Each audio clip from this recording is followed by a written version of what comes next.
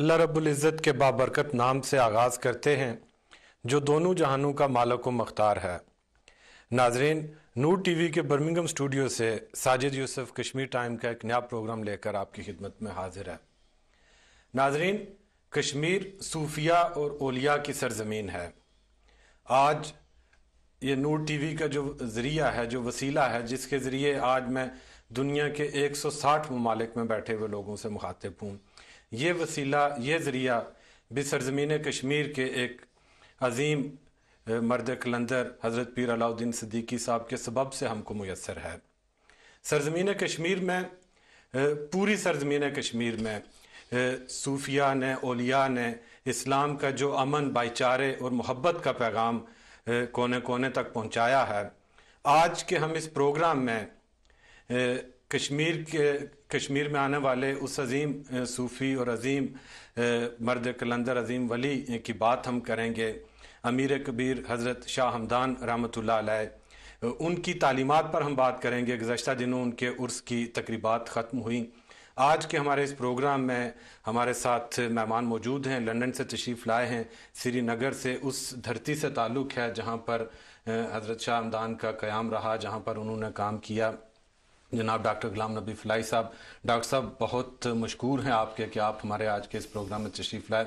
Doctor साहब बहुत शुक्रिया। गुफ्तु का आगाज़ करते हैं। थोड़ा सा हमारे नाजरीन को हज़रत शाह हमदान रहमत की इब्तदाई ज़िंदगी वो कश्मीर में जब आए, कश्मीर के हालात क्या थे, यहाँ पर उनकी जो इब्तदाई ज़िंदगी जो उनकी वहाँ, जो कश्मीर के अंदर जो उनकी ज़िंदगी गुजरी, उसका जो आगाज़ हुआ थोड़ा सा उस हवाले से थोड़ा सा शाह हमदान का तारफ़ जो है, वो हमारे नाजरन तक अगर आप गुफ्तु का आगाज़ यहाँ से करते हैं। बसमीम मैं आपका बहुत शुक्रगुजार हूँ। आपके साथ नूर टी वी के मुंतजमिन का भी शुक्रिया अदा करता हूँ। जिन्होंने हमें ये मौका मैसर किया कि हम उस अजीम मर्द मर्द कलंदर जो सूफियत में यद तूला रखते थे, जिनका नाम गिरामी इस वक्त पूरी दुनिया में, उनका नाम तो नहीं, वो अपने लकब से जाने जाते हैं। कश्मीर में उनको अमीर कबीर मीर सैद अली हमदानी के नाम से जाना जाता है। अभी गुज्त छः जलहजा को उनका उर्स मुबारक था, जो कई दिनों पर मुहित था। आशकान वहाँ उनके, वहाँ पर जहाँ उन्होंने, जो उनका क़याम रहा है, जो खानका है, वहाँ पर हाजिर हुए रातों इबादत में गुजारी रातें और मन्नतें, समाजतें वगैरह करते रहे। शाह हमदान जिस ज़माने में मौजूद या जिस उनका तवलद हुआ तो हमदान दरअसल उनका नाम नहीं दरअसल हमदान तो शहर का नाम है, जो तुर्किस्तान में है। वहाँ पैदा हुए उस ज़माने में आलम इस्लाम भी खल्फ खलफशार का शिकार था। जहनी परेशानियाँ थी।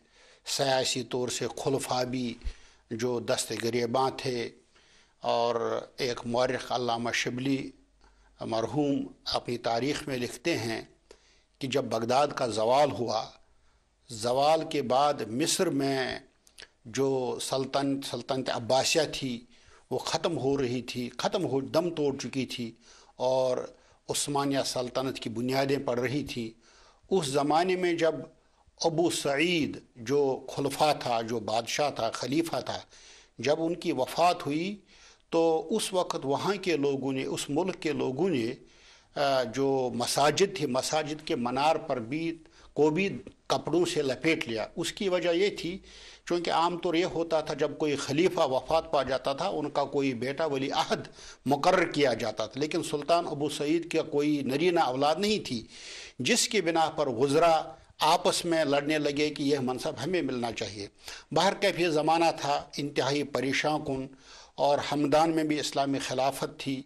शाह हमदान के जो वालद मरहूम शहाबुद्दीन थे वो उस वक्त हमदान के गवर्नर थे।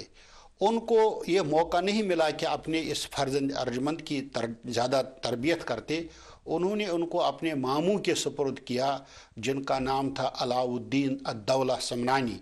वो उस वक्त सूफियत के बहुत बड़े आलिम थे ग्रेट स्कॉलर थे तरीक़त शरीयत और मारिफत में यदि तूला रखते थे। क्योंकि उनकी तरबियत में शाह हमदान जो है उन तरबियत हासिल की और उन्हीं की बरकत से उस ज़माने में उन्होंने कम से कम दुनिया के कम से पचास ममालिक का सफ़र किया। कहा जाता है कि चौदह हज़ार उलमा से उनकी मुलाकातें हुई। होता यह था कि आमतौर दरसगाहों में मदारस में यह होता था जब आप पढ़ते थे तालीम हासिल करते थे फिर आपको सफ़र पर भेजा जाता था। जैसे बुखारा समरकंद इन जगहों पर ताकि वहाँ जो स्कॉलर्स हैं उलमा हैं उनके यहाँ बैठ कर भी आप कुछ इल्म हासिल करें। तो उन्होंने ये सफ़र शुरू किया। तो इस तरीके से आपकी चौदह हज़ार से आपकी मुलाकातें हुई हैं, आपने कई हज भी किए। लेकिन आपको चूँकि तैमूर तैमूर का ज़माना था, उनके जुल्म सितम का भी ज़माना था, बहरहाल हम उस तरफ़ नहीं जाना चाहते हैं उस तारीख़ में। यहाँ पर मैं ये बात अर्ज़ करना चाहूँगा कि कहा जाता है, सैयद मीर सैली हमदानी रहमत एक बार किबला रो लेटे हुए थे तो उन्होंने ख्वाब देखा। ख्वाब में रसूल रहमत सल्लल्लाहु अलैहि वसल्लम उनको ये इज़्न दे रहे हैं हुक्म दे रहे हैं शाह हमदन तुम यहाँ क्या कर रहे हो? वहाँ कश्मीर में लोग आपका इंतज़ार कर रहे हैं। क्योंकि दरअसल बात यह थी कि कश्मीर अभी नया नया चूँकि हिंदू डोमिनेंस थी कश्मीर में हिंदुस्तान में उस वक्त तगल ख़ानदान की हुक्मरानी थी फेरोज़द्दीन तगलुक ये शरीर आरा था, बादशाह था, लेकिन वो बड़ा इंसान दोस्त भी था। कश्मीर में नई नई हुकूमत जो हिंदुओं से माने, यानी जंग में उनसे छीनी गई थी, शहाबुद्दीन उस वक्त वहाँ के हुक्मरान थे, लेकिन उन्होंने अपने बेटे कुतुबुद्दीन को हुक्मरान मुकर किया था। तो ये बड़ी सियासी परेशानियाँ थीं। और कश्मीर में एक बुज़ुर्ग दीन ने अवलियाई खुदा या बुजुर्गान दीन जिनको आप कहें, सैयद अब्दुलरहमान बुलबुल, इससे पहले वहाँ जिन्होंने इब्तदाई काम किया था, लोगों को इस्लाम की तरफ़ रागब किया था। इसलिए कहा जाता है कि ये जो शहाबुद्दीन था, ये पहले हिंदू था। और सैयद अब्दुलरहमान बुलबुल की अजान सुनकर, आवाज़ सुनकर वो मुसलमान हुआ। पर क्या फिर दूसरी हिस्ट्री है तो ये ज़माना होता है, उनको गैब से इशारा मिलता है कि आप चले जाएँ कश्मीर को। और ये वो ज़माना था, जबकि कोई सवारियाँ भी नहीं होती ऊँट ऊपर लोग सफ़र करते थे, घोड़ों पर सफ़र करते थे। तो उनके जो सादात थे, उनके मुरीद जो थे, उन्होंने उनको हुक्म दिया कि आप मेरे साथ चलें। लेकिन कश्मीर जाने से पहले उन्होंने अपने दो मुरीदों को कश्मीर भेजा जिनमें ताजदीन ता, ताजुद्दीन सिमनानी और हुसैन सिमनानी जो उनके, उनका भाई भी था, चचाजाद भाई था, उनको कश्मीर भेजा। गोया कश्मीर जाने से पहले उन्होंने सफारती महाज पर काम किया और वहाँ की ज़मीन को देखा कि कैसी नरम है, सख्त है। अगर हम इसमें काश्त करेंगे इस्लाम की, क्या वो कबूल करेगी कि नहीं करेगी? तो उन्होंने इन दो मुरीदों को वहाँ भेजा और चचाजाद भाई को उन्होंने जो रिपोर्ट दी, उन्होंने जो रिपोर्ट उनको पेश की, उसके बाद उन्हें रखते सफ़र बांधा। और कहा जाता है कि तैमूर के साथ भी उनके मरासम थे और आपस में जो या और ये भी तैमूर जो उनकी किताब है मलफूज़ात, उसमें कहा गया है कि वो सईदों की बड़ी इज़्ज़त अफजाई करते थे। ये ठीक है, लोग कुछ कहानियाँ हैं अब अल्लाह ही बेहतर जानता हो हिस्टोरिकल फैक्ट्स क्या हैं, मगर जो हकाइक है वो यही हैं कि उनकी इज़्ज़त करते थे, वो कहा जाता है कि उनको दाएँ तरफ़ बिठाते थे। लेकिन जब उन्होंने कश्मीर जाने का इरादा किया, तैमूर ने उनको रोकना चाहा तो उन्होंने कहा, मैं रुकने वाला नहीं हूँ। आपको मैंने जो जो वसीयतें की हैं, जो चीज़ें मैं बताएँ, आप वो काम करते रहें, मुझे जाने दें यहाँ से। और कहा जाता है, संगला पहाड़ों को तोड़कर अब देखिए ना, अगर यहाँ दो किलोमीटर आदमी चलता है, चप्पल भी फट जाता है, जूते भी फट जाते हैं, मोजे भी नहीं रहते अब उस ज़माने में हमदान से लेकर हज़ारों मील का सफ़र तय करना, फिर वादी कश्मीर पहुँचना, और वहाँ पर उस वक्त जो कुतुबुद्दीन या शहाबुद्दीन जो एक हिंदू हुक्मरान से बरसर पैकार थे, जब आप वहाँ पहुँचते हैं, आप पहली बार जाते हैं, उनको सुलह कराते हैं। और सैद कुतुबुद्दीन जो बादशाह था, उनकी दो बहनें जो उनकी निकाह में होती थीं तो वो उनसे कहते हैं कि ये तो इस्लामी तरीका नहीं है, ये गैर इस्लामी है, ये गैर इस्लामी कल्चर है। और सैद अहमद सैद मीर मीर सली हमदानी के कहने पर वो दोनों बीवियों को गोया एक बीवी बीवी को तलाक देते हैं और एक ही को अपने आकत में रखते हैं। उनने उनको बड़ी इज़्ज़त अफजाई की। बाद में पता चला कि उनके मुरीद भी हो गए। जब आप वहाँ पहुँचे कश्मीर, और कश्मीर में उस वक्त हिंदुओं का ही गलबा था। मंदिरों में वो बेलें बजाई जाती थी, हर तरफ़ वही निज़ाम था, वही कल्चर था, वही लिबास था, वही रहन सहन था, सब कुछ। चूँकि हिंदुओं ने कश्मीर तीन सौ साल तक हुकूमत की है, उसका लाजमी असर है। लेकिन कहा जाता है कि जो हिंदू राजाओं, राजा, राजाज थे, महाराजे थे, उन्होंने चूँकि मंदिरों पर भी उन्हें, उनका कब्ज़ा था। और मंदिरों में जो दौलत जमा होती थी, वो उसको लूट लेते थे। सियासी तौर पर बड़ा करप्शन था। अखलाक का दिवालिया था। तो मीर सली हमदानी ने एक वहाँ दरिया जहलम के किनारे उसको कहते हैं अलाउद्दीनपोरा आज भी उनकी खानका वहाँ पर है। लोग हज़ारों लोग, हज़ारों मील इन्हें चल कर आते हैं। वहाँ रातें गुजारते हैं, मिन्नतें करते हैं, दुआएँ मांगते हैं, औरादें पढ़ते हैं, दुरूद भेजते हैं। यानी मतलब ये सिलसिला आज इन्हें अब एक कम से कम आठ नौ सौ साल हो गए। ये सिलसिला तब से अब तक बराबर मुस्तकिल जारी है। लेकिन मीर सैली हमदानी मसलकन शाफ़ी थे। देखिए ना, इमाम शाफ़ी रहमत ताला के साथ उनका चूँकि एक ख़ास ताल्लुक़ था। लेकिन जब वो कश्मीर पहुँचे, उनने देखा कि सैयद अब्दुलरहमान बुलबुल, जो हनफी मसलक के थे, उनने कहा, नहीं यहाँ मैं हनफी मसलक की ही तरवीज और इशात करूँगा। रवादारी का पहलू देखें कि उन्होंने कहा, ठीक है, मैं अपने मसलक की तरवीज इशात नहीं करता हूँ। बेहतर यही है कि अब्दुलरहमान बुलबुल ने जो जिस चीज़ की काश्त की है, जो जो यहाँ पर जो बीज बोया है, उसी को आगे बढ़ाया जाए। और कश्मीर पहुँच कर उनको जो है, बड़े उनका बादशाह जो खुद निकलता है, उनको इस्तबाल करता है, यानी कोई बड़ी इज़्ज़त अफजाई के साथ उनको वहाँ पर तैनात किया जाता है, उनको जगह मैसर की जाती है। अब यहाँ सवाल पैदा होता है कि उनके साथ जो सात सौ सादात अब वो सादात सभी सादात नहीं थे। अलबत् चूँकि पूरी एक टीम थी उसमें मुख्तलिफ़ लोग थे। वो सात सौ को लेके उस ज़माने में चलें। देखिए अगर यहाँ माइग्रेशन होती है कहीं दस बीस आदमी कहीं चले जाते हैं प्रॉब्लम्स होती हैं। अब बेसरो सामानी के हालत में वो सात सौ सादात वहाँ से निकलते हैं। मैं ये कहूँगा, एक बेआब वो गया, वहाँ कश्मीर में क्या था? कोई खाने के लिए कोई ख़ास चीज़ें नहीं थी, कोई दस्तकारी नहीं थी, कोई सन्नत नहीं थी, कोई हिरफत नहीं थी, कोई चीज़ नहीं थी। लेकिन ये क्यों हुआ कि वहाँ हमदान को छोड़कर आप सात सौ सादात लेके वहाँ पहुँच रहे हैं? आप जब वहाँ पहुँचे तो आप तो वहाँ पर, आपने तो हाथ नहीं फैलाया वहाँ पर। या हम ये कह सोशल सिक्योरिटी बेनिफिट जो होता वो तो नहीं लेते रहे। हालाँकि गवर्नमेंट ने सैद कुतुब जो बादशाह थे उस वक्त कुतुबुद्दीन, उन्होंने आपको ऑफ़र भी किया, आपने नहीं ये काम किया। बल्कि आपने अपनी रोज़ी का ज़रिया वो टोपियों का काम करते थे टोपियाँ सिलते थे। कश्मीर में वो टोपियाँ बड़ी मरूफ हैं। घर अब वो नया ज़माना है अब लोग भी टोपी रखना भी बड़ा मायूब समझते हैं।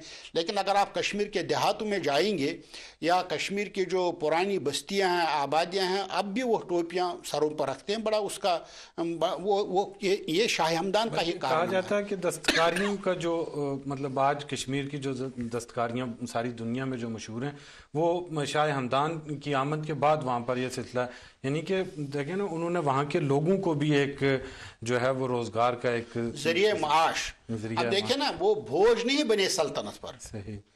वो उन्होंने हुकूमत से नहीं मांगा। इन सादातों में सात सौ सादात कुछ लोग नजार थे कुछ तरखान थे कुछ बढ़िया थे कुछ सिलाई का काम करने वाले थे कुछ ज़मींदारी का काम करने वाले थे। मुख्तलिफ़ तबके से ताल्लुक़ रखने वाले लोग थे। आपने जो बड़ा अहम काम उस वक्त किया आपने 700 सादात को 700 जगहों पर मुकर किया। अगर आप आज भी कश्मीर जाएँगे ना कश्मीर आप देखेंगे कि कश्मीर को हमारी ज़ुबान में कश्मीर पिरवर कहते हैं। पिरवर की माने ये होते हैं अलियाल्ला की ज़मीन। ये बुज़ुर्गों की सरजमीन है। आप कोई रास्ता ऐसा नहीं, कोई गली ऐसी नहीं, कोई नुक्कड़ ऐसी नहीं, कोई ज़मीन का, कोई कोचा ऐसा नहीं, कोई मोहल्ला ऐसा नहीं है जहाँ इन अलियाई कराम और बुजुर्गान दीन की से नस्बत कोई खाना का मौजूद न हो। आप जहाँ जब आप सफ़र करिए ना कश्मीर जहाँ भी जाएँगे कहीं आपको ख्वाजा सैद अकमलद्दीन नज़र आएँगे कहीं सईद जलालुद्दीन बुखारी नज़र आएँगे कहीं सईद शहाबुद्दीन नज़र आएँगे कहीं सईद मखदूम रहमत ताला नज़र आएँगे कहीं बाबा शुक्रद्दीन वली नज़र आएँगे कहीं बाबा ऋषि नज़र आएँगे कहीं अलमदार ख़त कश्मीर शेख नूरुद्दीन नूरानी नज़र आएँगे कहीं सईद अब्दुलरहमान शाह बुलबुल यानी कोई चप्पा नहीं, कोई ज़मीन का टुकड़ा ऐसा नहीं जहाँ इन अलिया कराम का मज़ार नहीं है। इन्होंने अपनी अपनी जो अपना मस्कन जंगलात बनाए हैं मतलब ये बस्तियों से भी दूर उन्हें अपना अब्दी मस्कन बनाया।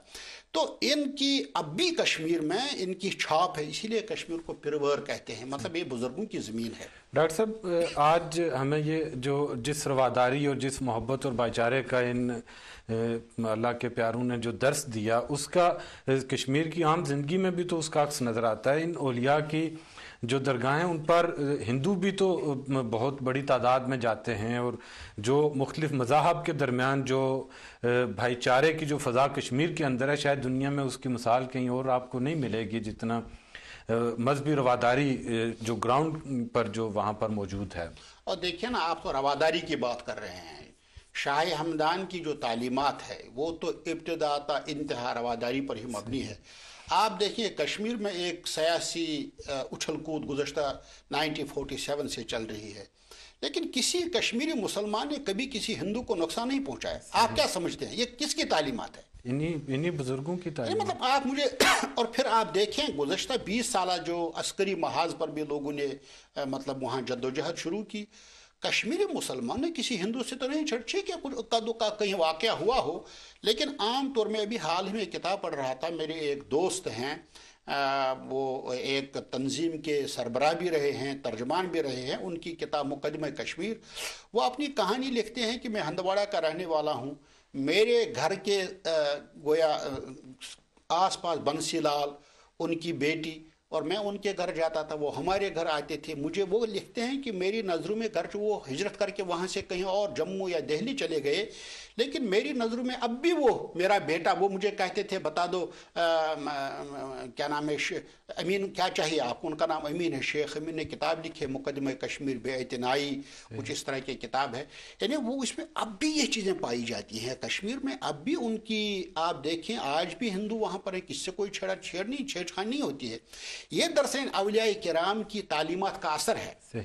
और इसमें शाही हमदान अलहमा अकेले नहीं है शेख नूरदीन नूरानी जिन्होंने कश्मीरी ज़ुबान में कुरान पाक की तर्जमानी की है।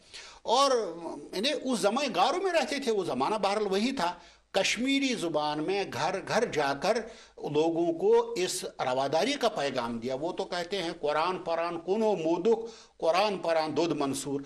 आप कुरान पढ़ते क्यों? आपकी वफात नहीं हुई। आप ये तमाम चीज़ों को छोड़ दें।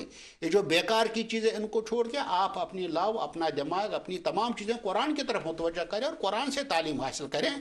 और यही पढ़कर, यहाँ तो मंसूर भी कुरान पढ़कर जल गया। लेकिन तुम तो इंसान हो, तुम मुसलमान हो और तुम ऐसे ही हो। यानी इन तालीमत कुरान पाक जो कहा अयोहन्नासोबुदरबकुमुल्लजी खलकुम कुरान पाक की तालीम है ना, ए इंसानो।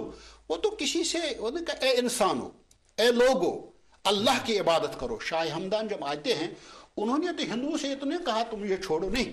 उनका जो जो सूफियाना तरीक़ेकार था, जो उनकी तरीक़त थी, जो मारिफत थी, उसके ज़रिए उन्होंने कश्मीरियों के दिलों को जीता। देखिए दबाव धोस धांधली ये काम नहीं देती है। शाह हमदान को आज उनको इन्हें गोया तेरह सौ चौदह में उनकी वफात पा गई। कितने साल हो गए? सात आठ सौ। साल हो गए लेकिन अब भी शाह हमदान का नाम शाह हमदान का नाम हर जगह लिया जाता है। क्यों? उनकी हुकूमत दिलों पर दिमागों पर जिसमानी को कोई जवाल नहीं है। जवाल नहीं है। अब 600 700 साल उनको हो गए वफात पाए हुए इस दुनिया से चले गए हैं। लेकिन शाह हमदान का नाम आज भी पूरी दुनिया में है। कश्मीरियों को उन्होंने एक ख़ास तोहफा दिया मैं उसका तस्करा करूँगा। मैं अर्ज़ कर रहा था कि जो 700 सादात कश्मीर में आए इन्होंने उनको 700 जगहों पर मुकर किया। अगर आप कश्मीर कभी जाना हो खासकर वादी कश्मीर का तो आप देखेंगे हर जगह आपको ये मिलेंगे। अब पंडित कोल्हन जो कश्मीर का बड़ा इन्हें मोतबर मौरख जिन्होंने राज तरंगनी लिखी है। वो उसमें तस्करा करते हैं कि शाह हमदान जिस ज़माने में आए हैं कुतुबुद्दीन ने उनको एक घोड़ा दिया था तेज़ रफ्तार घोड़ा। देखिए हुकूमत के साथ उनके जो ताल्लुक थे हुकूमत ने उनको रद्द नहीं किया बल्कि वो सुल्तान मुशीर थे मुशीरों के मुशीर रहे हैं वो उनसे आमतौर से बादशाह जो है मशवरे किया करते थे। तो उनको सुल्तान वक्त ने घोड़ा दिया था। अगर कभी कोई ज़रूरत पड़ती मिसाल करो सोपोर वहाँ से सिक्सटी फाइव माइल्स दूर है श्रीनगर से। तो आप घोड़े पर जाते थे वहाँ देखते थे खैरियत है। अभी जो खानकाहें उनने कायम की थी ये खानकाहें इस तरह की नहीं थी बल्कि ये खानकाहें दरअसल दानिशगाहें थी तरबियत गाहें थी जहाँ पर तालीम दी जाती थी उनको सिखाया जाता था कि इस्लाम क्या है। आमतौर कहा जाता है कि शाह हमदान जिस ज़माने में गए चूँकि हिंदुओं का कल्चर था मंदिरों की आ, क्या नाम है अब भी मंदिर हर जगह पर मौजूद है क्योंकि जो लोग मुसलमान होते थे वो सुबह सवेरे दरिया क्योंकि दरिया जहलम जो है ना कश्मीर को दो हिस्सों में तकसीम करता है। इस जहलम के किनारे मंदिर हैं। इस इस साइड में भी इस साइड में भी। तो जो मुसलमान होते थे अब सुबह वो मंदिरों में वो जो बेल बजाई जाती है क्या कहते हैं उसको वो घंटी बजाई जाती है लोग आते हैं वो अपने अपना अपना तरीक़ेकार चलाते थे। शाह हमदान ने देखा ये तो बड़ा अजीब मामला है कि लोग तो आ, मैं उनको मुसलमान बनाता हूँ, कुछ चीज़ें सिखाता हूँ, लेकिन ये उधर ही चले जाते हैं तो उन्होंने उसी तर्ज पर बिल्कुल सोच और साज के साथ कुरान पाक, अहादीस रसूल सल्लल्लाहु अलैहि वसल्लम के मुताबिक एक किताब मुरतब की, जिसको हम अवराद फतिया कहते हैं। अवराद है, वजीफ़ा है। और ये उन्होंने कश्मीरियों को बहुत बड़ा तोहफा दिया है। इसमें सबसे पहले जो अल्लाह ताला की वहदानियत को बयान किया गया है उसके बाद रिसालत रसूल सल्लल्लाहु अलैहि वसल्लम को साबित किया गया है। उसके बाद आखरत के तस्वुर और आखरत में जवाबदेही का तस्वुर जो है, उसको पेश किया गया है। आखिर में उस वक्त चूँकि जो अयम जो हमारे खलफा अरबा जिनमें, जिनके खिलाफ एक मुहिम चली जा रही थी मोतजलाइटस थे, मुरजई थे, रवाफिज थे इन्होंने इनके खिलाफ एक महा चलाया था। आखिर में वो कहती ये सब हमारे अयमतन ये सब हमारे खुलफा हैं, कुरान हमारी हिदायत है। तो इस तरीके से आपने वो एक बिल्कुल सूफियाना अंदाज में, मूसीकी के अंदाज में उसको लिखा है। कुरान अरबी में है, मैं इनशाला उसका तस्करा करूँगा। तो उसको अब अब चलिए मैं उसका बता, जैसे वो शुरू करते हैं, वो कहते हैं कि ला इलाहा मलिकुल जब्बार। ला इलाहा करीम सत्तार, ला इलाहा खालिक लैल वन्नहार ला इलाहा माबूद बिकुल मकान, ला इलाहा मजकूर बिकुल यानी एक सुर के साथ, एक क़े के साथ, शायराना अंदाज में, शायराना पैरवी में वो इसका जो है उन्होंने लिखा। अब कश्मीर में इस वक्त गुजशत सात, आठ सौ साल से कश्मीरी कुछ लोग जिनको कुरान पाक याद, बहुत मेजॉरिटी में कहूँगा कि कुरान पाक याद नहीं है, लेकिन अवराज फतेह ज़रूर याद होगी। इसलिए कि अवराध का जो विरुद्ध है ये सुबह हर फजर नमाज़ के बाद, फजर, ये फजर की फ़राइज़ के बाद हमेशा एक घंटे तक लोग मस्जिद में होते हैं। लोग बाहर नहीं निकलते थे जब तक वो अवराज फतिया ख़त्म नहीं करते थे। अब देखे ना, ये तो तवीद है कि ला मलिकुल जब्बार कोई नहीं है। सिर्फ़ वो ज़ात बरहक है, जो जब्बार है, जो कहार है, जो रज्जाक है। कहते खैर राजकीन। खैरुल गाफरीन, जो बख्शने वाला है। मैंने इस तरीके से उन्होंने कश्मीरियों के दिलों और दिमागों में इस्लाम की जो वहदानियत है, इस्लामी तालीमत को उतारा। अब आगे चल कर कहते हैं। डॉक्टर साहब, अभी हम गुफ्तु का सिलसिला जारी रखेंगे। एक छोटे से वक्फे के बाद दोबारा हम जो है ना हाजिर होंगे। नाजरीन, एक छोटे से वक्फे का वक्त हुआ। डॉक्टर गुलाम नबी फ्लाई साहब आज के हमारे इस प्रोग्राम के मेहमान हैं। गुफ्तु का सिलसिला जारी रहेगा। एक छोटे से वक्फे के बाद दोबारा आपकी खिदमत में हाजिर होते हैं।